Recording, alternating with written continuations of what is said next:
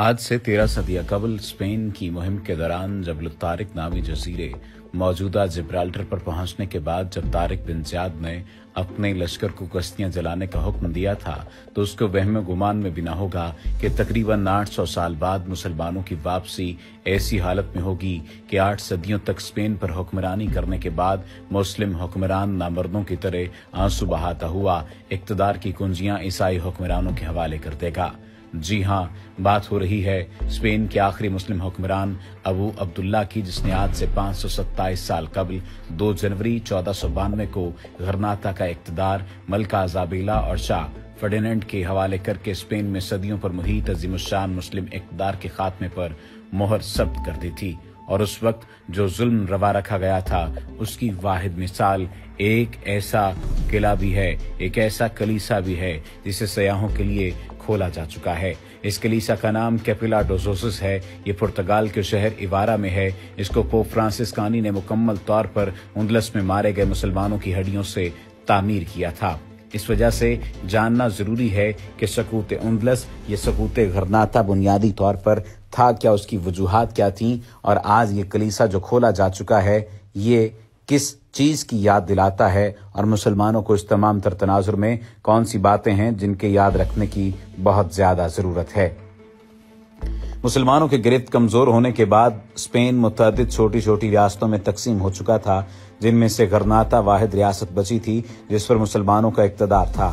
باقی تمام ریاستیں عیسائی حکمرانوں کے قبضے میں جا چکی تھیں۔ اگر ہم سکوت بغداد، سکوت ڈھاکہ، جنگ پلاسی، میسور اور خلافت عثمانیہ کے زوال سے لے کر سکوت غرناتا تک کا جائزہ لیں، تو ہمیں مسلمانوں کی شکست اور زوال میں غیروں کی اہلیت اور ہمت سے زیادہ اپنوں کی نااہلی غداری اور مال و دولت اور اقتدار کی حوث کار فرما نظر آتی ہے۔ سکوت غرناتا کی بھی بنیادی وجہ مسلمانوں کی باہمی رنجش اور اقتدار کا لالچ تھی۔ باہمی لڑائیوں سے مسلمان بکیا اسپین تو کھو ہی چکے تھے۔ غرناتا کا بھی دفاع نہ کر سکے اور تاریخ میں ایسے فنا ہوئے کہ صدیوں بعد بھی اسپین کے در و دیوار ان کی بربادی اور زوال پر ماتم کنا ہے۔ سکوت غرناتا کے سو سال کے اندر عیسائی حکمرانوں کے ظلم و ستم کے باعث لاکھوں مسلمان ہجرت کر کے مراکش اور شمالی افریقہ کے دیگر ممالک میں آباد ہو گئے، جو آج بھی وہاں مہاجر کی حیثیت سے جانے جاتے ہیں۔ لاکھوں مسلمانوں کا قتل عام ہوا اور بے شمار اہل ایمان عیسائی ظلم و ستم کی تاب نہ لا کر عیسائی بن گئے۔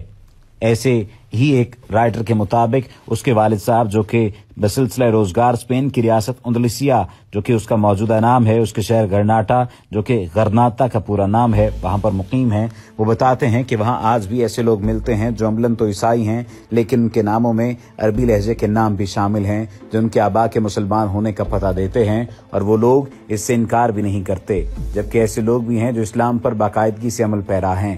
دلچسپ بات یہ ہے کہ ایسے لوگوں میں دونوں طرح کے لوگ ہیں، ایک تو وہ جو عرب مسلمانوں کی نسلوں سے ہیں اور دوسرے وہ جو یہاں کے مقامی ہسپانوی باشندوں کی اولادیں ہیں، جن کے اجداد صدیوں قبل مسلمان ہو گئے تھے۔ اسپین پر مسلمانوں کی حکمرانی کے ادوار میں یورپ جہالت کے اندھیروں میں گم تھا، جبکہ اسپین میں علم و حکمت، زرعی، صنعتی، معاشی ترقی اور خوشحالی کا دور دورہ تھا۔ اور پورے یورپ ہی نہیں، دنیا بھر سے طالبان علم یہاں فیضیاب ہونے آیا کرتے تھے۔ مورخین تسلیم کرتے ہیں کہ اسپین کو جو عروج مسلم عہد میں حاصل ہوا، وہ دوبارہ اسے نصیب نہ ہو سکا۔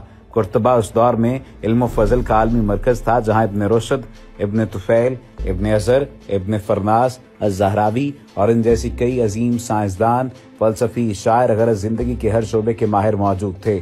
مسلمانوں کے زوال کے کئی سو سال بعد بھی ان شخصیات کی تدوین کردہ کتابیں یورپی زبان میں ترجمہ ہوتی رہی ہیں۔ اس تمام تر تناظر میں کئی لوگ یہ بات جاننا چاہیں گے کہ بنیادی طور پر مسئلہ کیا تھا اور یہ لڑائی کی صورت جا چکی تھی کہ یہ تمام تر صورتحال کا مسلمانوں کو سامنا کرنا پڑا۔ اگر ہم اسپین کے روز کا منظر دیکھیں تو اس کا آغاز آٹھ سو سال قبل تارک پر، جب تارک بن زیاد نے عیسائی بادشاہ روڈرک کو عبرتناک شکست دی تھی موسا بن نصیر اور تارک بن زیاد نے جلد ہی اسپین کو فتح کر لیا اور عیسائی حکومت کا خاتمہ کر دیا تھا۔ اس وقت انگلیوں کی حکومت تھی، دمشق ان کا پایا تخت تھا تو اسپین دمشق کے خلافت کی زیر نگی آ گیا۔ انگلیوں کے زوال کے بعد خلافت بنو عباس میں منتقل ہو گئی تو اسلامی ریاست کا پایا تخت بغداد بن گیا۔ اندلس کا حکمران اموی شہزادہ عبد الرحمان داخل بن گیا اور وقت گزرتا گیا۔ حکومتیں بدلتی رہیں۔ اندلس کے مسلمان آہستہ آہستہ مضبوط سے مضبوط ہوتے گئے۔ اندلس عالم اسلام کے لیے علم و ہنر کا مرکز بن گیا۔ اس نے اپنے تعلیمی دور عروج میں الفارابی، ابن رشد ابو القاسم الزہراوی اور ابن حزم جیسے علماء اور فضلہ پیدا کیے۔ پھر وقت پلٹا، مسلمانوں کے عروج کو زوال آنے، پھر قدرت نے یوسف بن تاسوین کی صورت میں اہل اندرت کو سنبھلنے کا بہترین موقع دیا، مگر مسلمانوں کے اپنے کردار کی وجہ سے زوال ان کا مقدر بن گیا تھا۔ اموی شہزادے کی بہترین ریاست ٹکڑے ٹکڑے ہونا شروع ہو گئی اور کئی ریاستیں وجود میں آنے لگی سرکستہ کشتالیہ اشبیلا اور خرناتا جیسے عظیم علاقے مسلمانوں کے ہاتھوں سے نکلنا شروع ہو گئے۔ رغوان اور قسطلہ کی مضبوط عیسائی ریاستیں وجود میں آئیں۔ رغوان کی مشہور حکمران ملکہ عزابیلا تھی، جو تاریخ میں ملکہ عزابیلا کے نام سے مشہور ہوئی۔ دوسری طرف قسطلہ کا شاہ فرمان فرنینڈڈ تھا، جو ایک متعصب عیسائی تھا۔ یہ دونوں حکمران انتہا پسند اور مسلمانوں کے دشمن تھے۔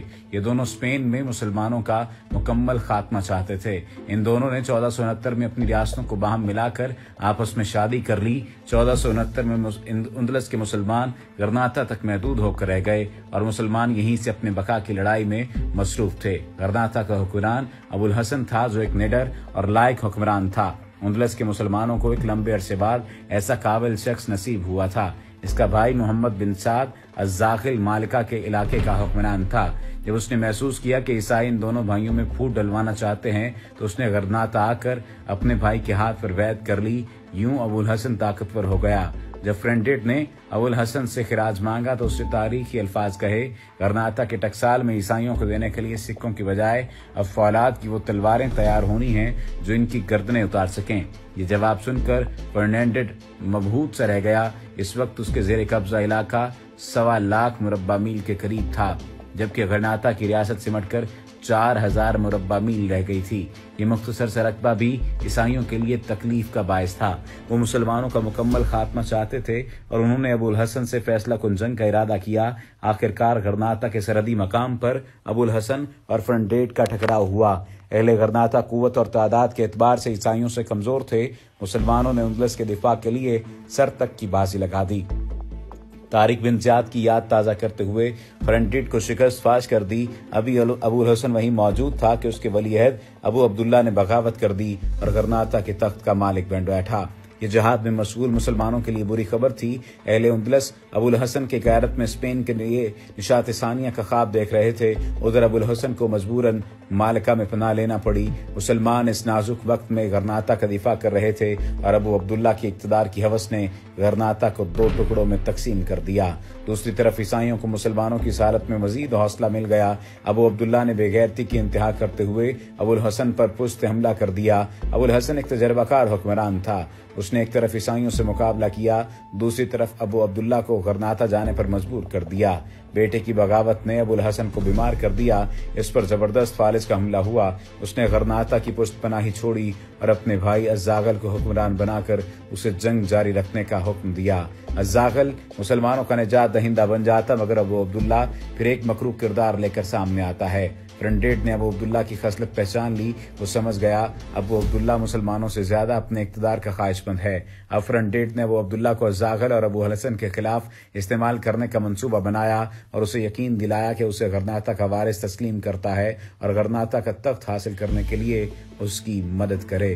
پھر وہ ہوا جو تاریخ نے دیکھا اور تاریخ جانتی ہے کہ پھر ایک ایسا وقت بھی آیا تھا جب مسلمانوں کو ختم کیا جانے لگا۔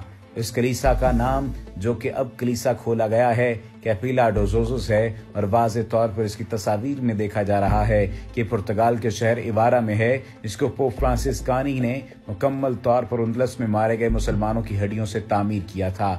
جس کی دیواروں پر دو بچوں کی خشک لاشیں لٹک رہی ہیں، جن کو گلا گھونٹ کر قتل کر کے سکھایا گیا تھا۔ اس کو بنانے کے لیے پانچ ہزار مسلمانوں کے ڈھانچوں کو استعمال کیا گیا تھا، جن کو اندلس کے سکوت کے بعد نصرانیت قبول نہ کرنے پر قتل کیا گیا تھا۔ آپ اس بات سے بھی ظلم و ستم کا اندازہ لگائیے کہ کس حد تک ظلم کیا گیا کہ جب انہیں اسلام قبول، اسلام کی بجائے کوئی اور مذہب قبول کرنے کے لیے کہا گیا تو انہوں نے اپنا مذہب نہیں چھوڑا تھا اور انہوں نے اپنی جان دے دی تھی۔ اب یہی بات، یہی معاملہ اور یہی مسئلہ ہے کہ ہم اپنے آبا کو بھول چکے ہیں، اپنے آبا کی ان غلطیوں کو بھی بھول چکے ہیں۔ اور ان محنتوں کو بھی بھول چکے ہیں کہ جو محنتیں انہوں نے کی تھی اور ان غلطیوں کو بھی بھول چکے ہیں کہ جن محنتوں کے بعد انہیں وہ عزت اور مقام ملا تھا، تو پھر ایک ایسا وقت بھی آیا کہ سب کچھ تباہ و برباد ہو گیا۔ ہمیں ہوش کے ناخن لینا ہوں گے، اور سوچنا ہوگا کہ اس وقت امت مسلمہ نے کون سی غلطیاں کی اور اب امت مسلمہ پھر سے کون سی غلطیاں دہرانے جا رہی ہے۔